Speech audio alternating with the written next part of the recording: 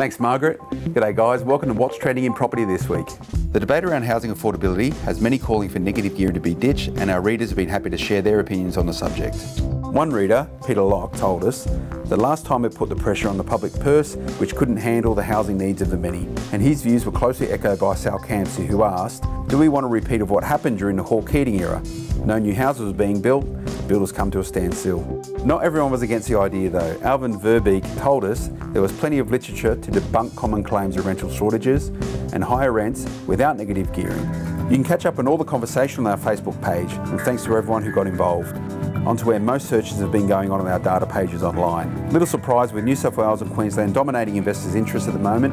New South Wales has come off a touch though, dropping 1.14%. Victoria was the biggest move of the week, dropping 3.44%. If you'd like to get involved, visit us at smartpropertyinvestment.com.au or check out our Facebook page. back to you, Margaret.